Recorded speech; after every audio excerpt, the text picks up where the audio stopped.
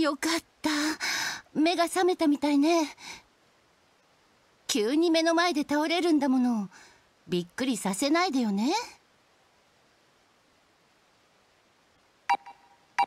ちょっと寝ぼけてるの？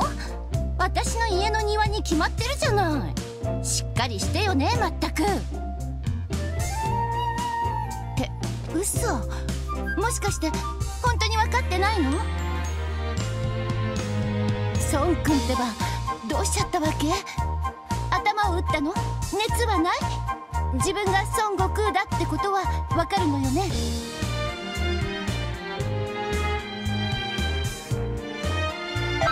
あんたに決まってるじゃない。っていうか何なのよその変な口調は。ほらこれが証拠よ。鏡で自分の顔を見てみなさい。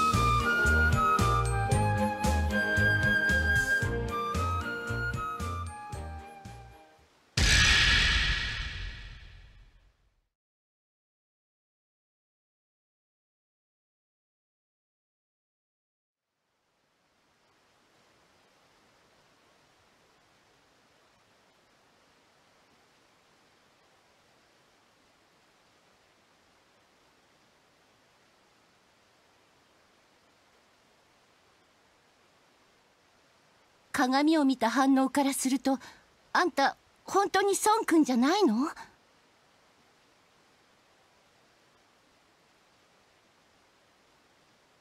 でも見た目は間違いなく孫くんだしもしかして記憶喪失？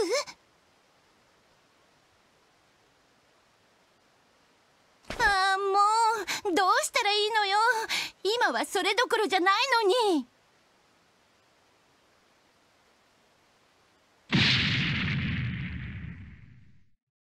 ここにいたか。誰よ？この大変な時に。あ？あ？あんたはまさか。16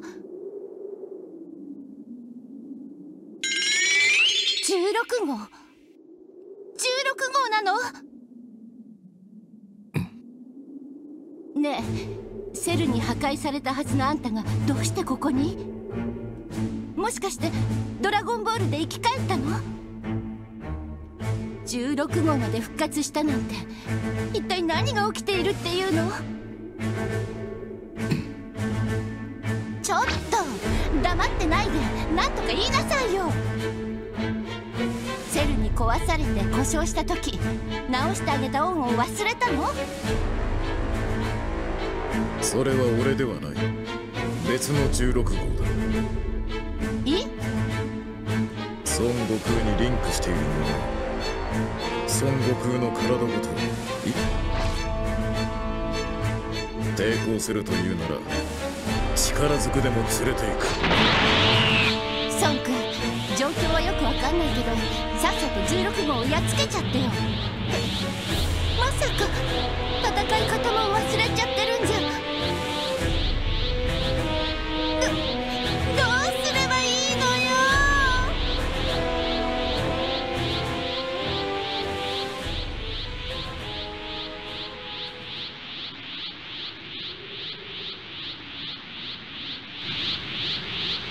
その肉体は孫悟空のもの。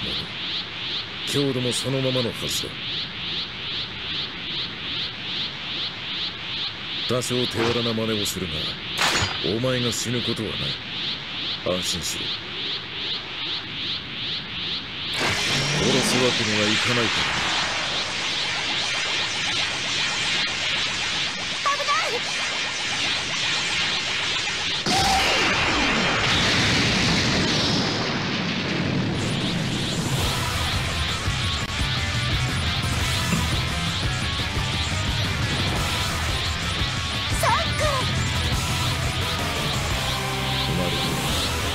お前の才能は本物のようだ。ならばこちらも手を抜け。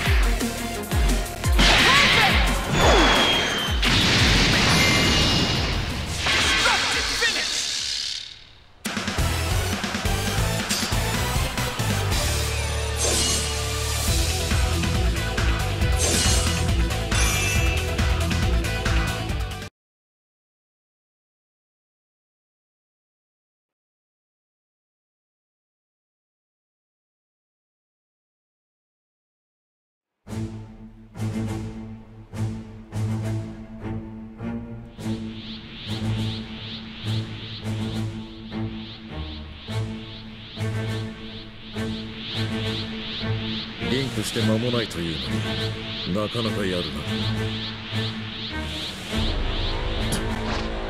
こんにちはブルマさん。ご馳走をいただけると聞いて伺ったのですが。わざわざ僕たちを呼び出したんだ。よっぽん。なんだお前。どうやら人間じゃないようだが。邪魔が入ったようだな。ここは出直した方が良さそうだ。孫悟空にリンクしているものまい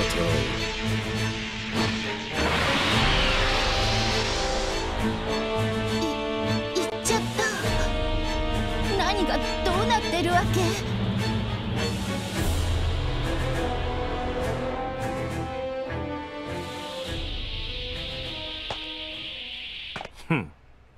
さてと。孫悟空の中にいるやつ。お前は誰だ？僕の目はごまかせないぞ。え？どういうこと？この人は孫くんじゃないっていうの？おやおや。これは不思議ですね。悟空さんの体なんですが本人の気はわずかにしか感じません。その代わり知らない人の気が感じられます。第三者が悟空さんの体を乗っ取っているというところですかね体を乗っ取っている？そそんなことって。ちょっとあんた孫くんの体から出て行きなさいよ。あんたに乗っ取られているほど孫くんは暇じゃないのよ。ブルマさんそんなに困らせるものではありませんよ。この方も意図せず悟空さんの体に入ってしまったようですしというわけで。悟空さんの体の中にいるあなた。あなたですよ。まずは心の中で悟空さんに呼びかけてみていただけませんか？あなたなら同じ体の中に眠る悟空さんと話すことができるはずです。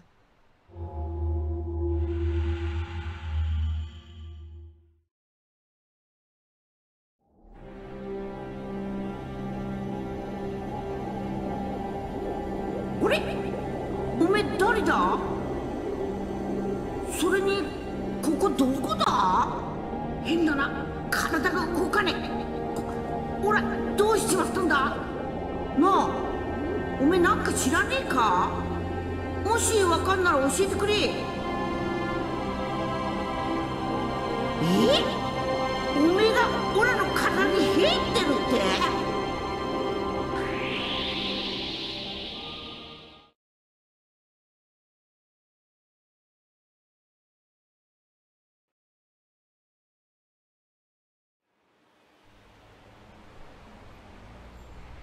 それにしてもウイスこの妙な波動は一体何だろうね？やはりビルス様もお気づきでしたか？どうやら人の手で作られたもののようですが。波動？何の話？なんだお前にはわからないのか？鈍いな。鈍いとは何よ？失礼ね。普通の人間はわからないわよ。おやこの件についてお話があったわけではないのですね。てっきりごちそうを食べさせる代わりにこの波動について教えろというのかと。あそうよ。すっかり忘れてた。今世界中が大変なことになってるのよ。急に孫君たちの偽物みたいなのが出てきて世界中で暴れてるし。突然フリーザやセルが復活したりで大混乱なんだから。ふん。ふーんじゃないでしょ。地球のピンチなのよ。せっかく来たんだからあいつらを倒してよ。僕には関係ないことだ。そんなことより早く美味しい食べ物を出せ。つまり助けてくれないのね。とはいえこの波動についてはいささか気になりますね。おや？悟空さんの木が少し増えたみたいですよ。どうやらあなた悟空さんと無事お話ができたみたいですね。悟空さん聞こえますか？それがよ腹減ったし起きようと思うんだけど目が覚めねえんだ。オラがいる場所の出口がどっかわかんねえしぶっ壊して出られる気もしねえ。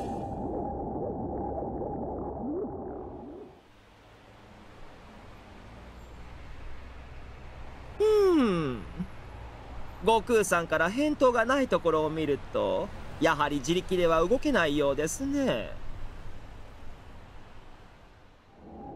あれオラの声ウイスさんに聞こえてねえんか？ウイスさんの声は聞こえんだけどな。困っちまったな。ひょっとすると悟空さんがこうなったのはこの波動の影響かもしれませんね。波動の力で木の量が制限され反動で精神が体の奥底で冬眠状態になった。そんなところでしょうか。気が多そうな連中は全員強制的に眠らされているようだなだったらなんでビルス様とウィスさんは大丈夫なわけ？決まってるだろう。神はそんな波動なんかの影響は受けない。あそう。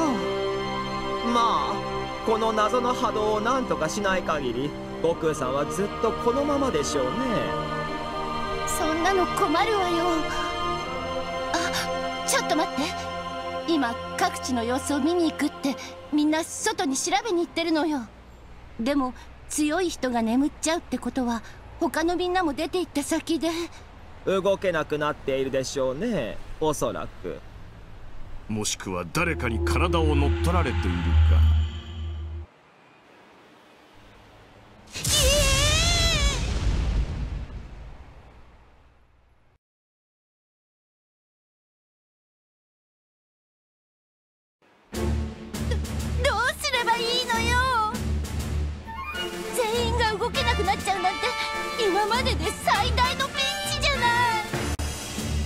状況を打破するにはこの波動を止める必要があるでしょうね。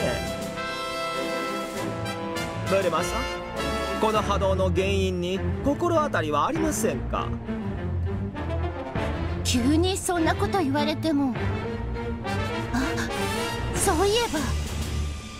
思い当たることがあるようだな。なんであの時16号が現れたんだろうって。それに孫悟空にリンクしているものって言ってたし今起こってることと全く関係ないとも思えないわ。なるほど。そう思うのでしたら探ってみる価値はあるのでは？そうよね。まずは調べてみないとわからないわ。それにみんなのこともそのままってわけにはいかないしね。そうなると強い人の助けがいるんだけど。言っておくけど僕たちは手伝わないよ。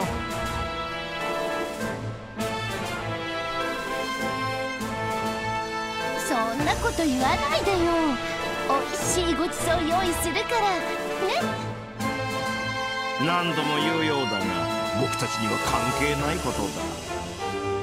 困っているなら悟空の体に入っているやつに頼めばいいだろう。え？悟空の体を動かせるんだろう。だったらこいつも戦えるはずだ。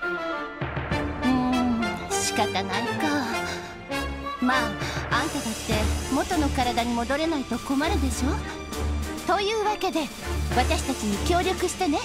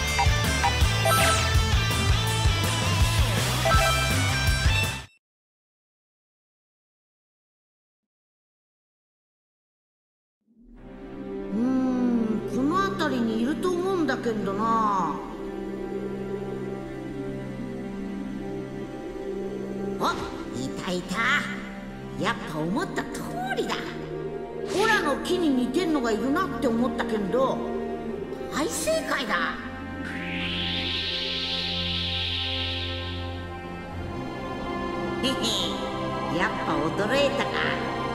そいつオラにそっくりだろ？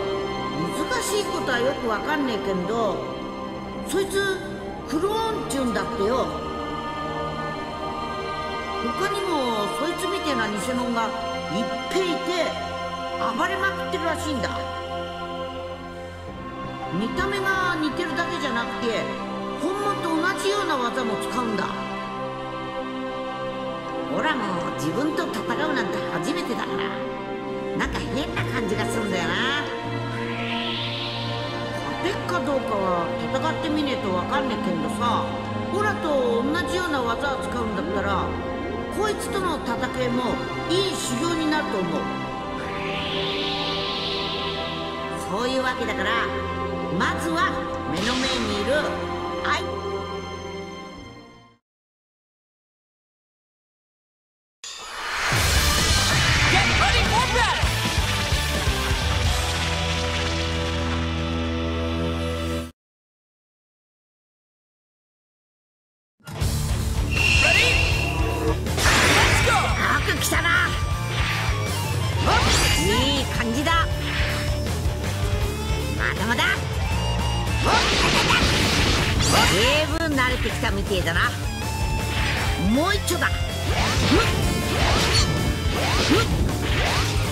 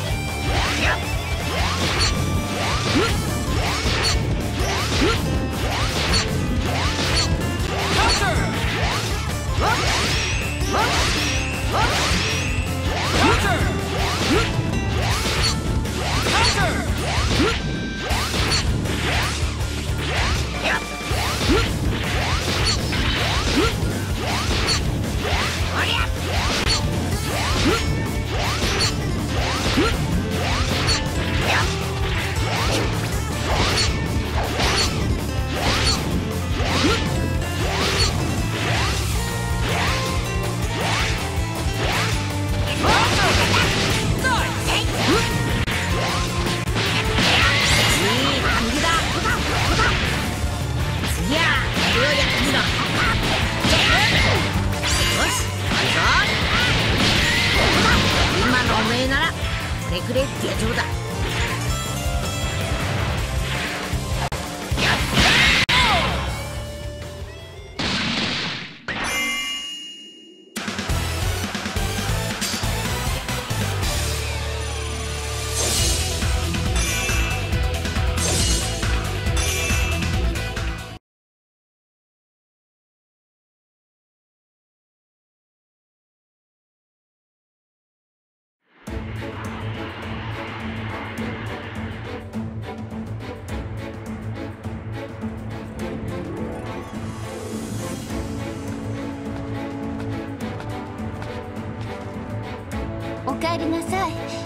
きなり孫君にそっくりなやつと戦って混乱したでしょ？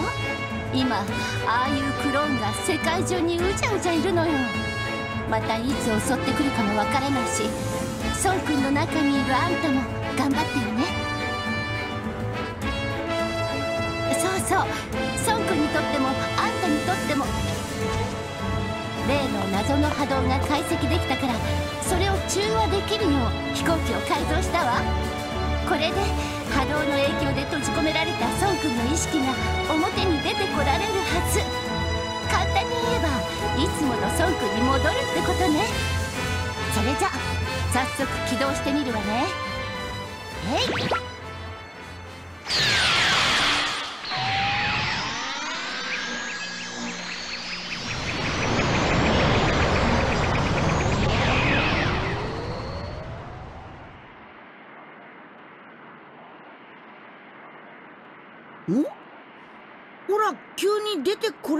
これるようになった。やったわ。成功ね。でもダメだ。体が重てえし。全然力が入らねえ。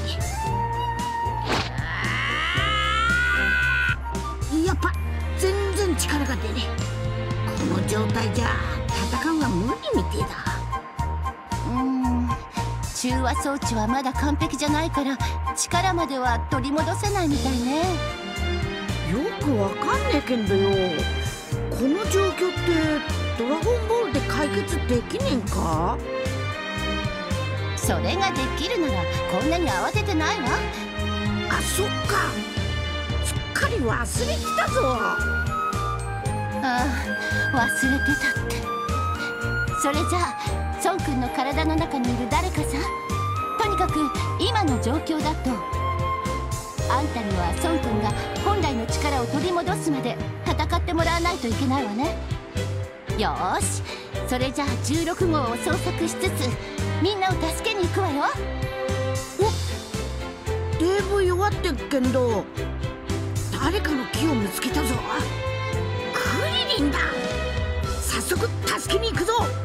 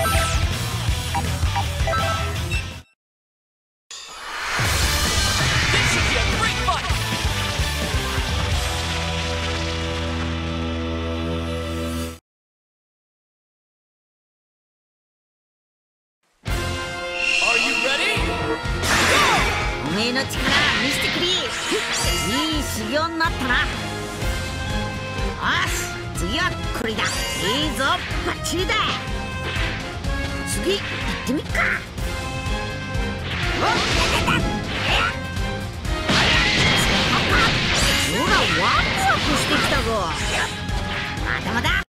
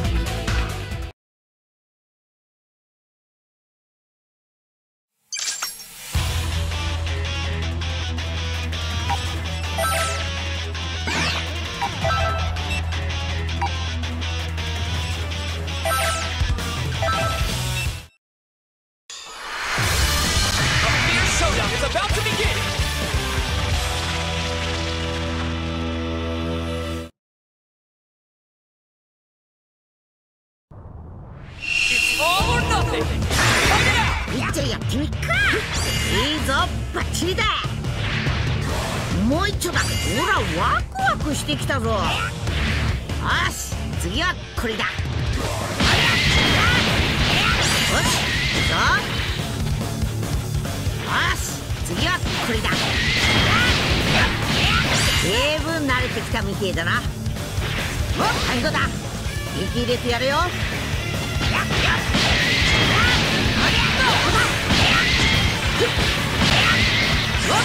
ま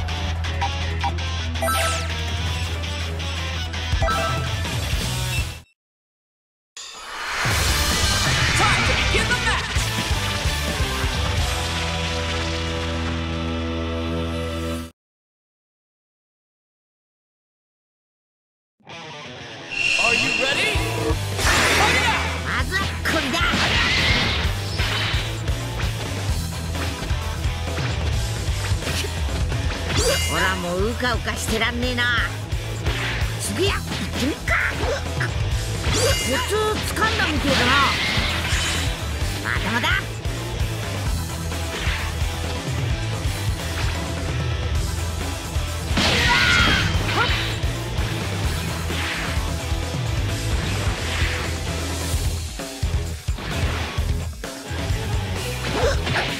コツ掴んだみてえだな。よし次はこれだ。おおりゃ。おりゃ。おっだだどややぞ。いいぞ。こっちだこだおど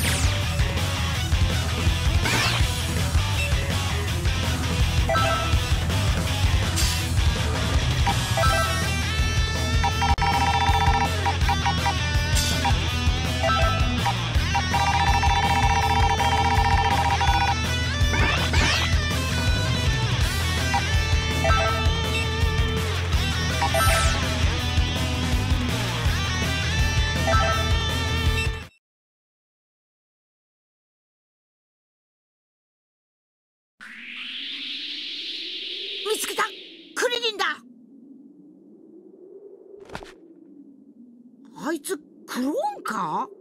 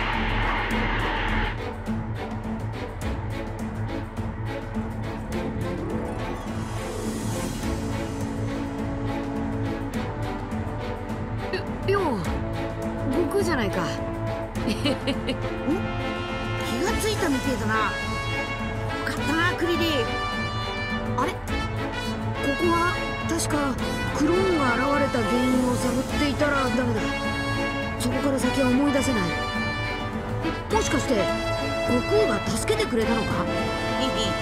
まだそっか。いつもありがとな。えー、なんて言って。ほらだってやべえ時はいつもクリリンから全然もらってったろ？悟空さすがの俺もちょっと傷つくぜ。ところで全く覚えてないんだけど。クリリンよく聞いてね。今いろいろと大変なことになってるの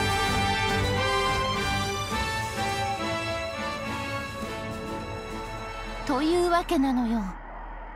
そんなことがあったんですか。あの16号が生きてるなんて嬉しいけど俺たちの敵っていうのが。よし他のみんなも助けてやりたいし16号の真意も知りたい。俺も一緒に戦うぜ。な悟空。あもちろんだ。ちょっと待った。今のあんたたちはろくに力も出せないでしょ？あっちゃー。すっかり忘れてたな。修行すりゃ少しはマシになりそうだけんど。オラも一人じゃまともに叩けねえし。え？それじゃあ俺は戦えないってことなんですか？うーん。思いつく方法はあるけど孫君の中にいる人の協力がいるのよね。というわけであんた孫君からクリリンに移動することはできない？えー、悟空の中にいるやつが俺にリンクするってことですか？いいから。二人とも試しに目を閉じてみて。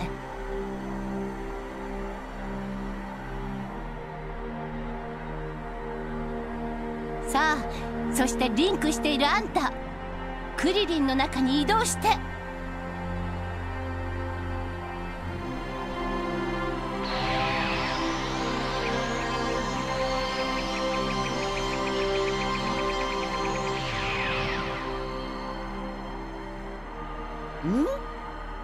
の中からいなくなっちまったぞ。俺の中に知らないやつが。やった。リンクする相手が変わったわ。これでみんな戦うことができるわね。なあじゃあクリリンが戦ってる間ほら何にもできねえっちゅうことか？リンクできる人は一人だもの。当然そうなるわね。でも仲間が増えるのよ。翔くんの負担だって減るじゃない。確かに悟空だけに頼りっぱなしってわけにいかないもんな。うん。まっか。もともとオラが自分で戦ってたわけじゃねえし自分で戦えるようになるまで精神修行っちゅうやつをすりゃいいしな。あんたらしい考え方だわ。とにかくそういうことだから。3人ともこれからもよろしくね。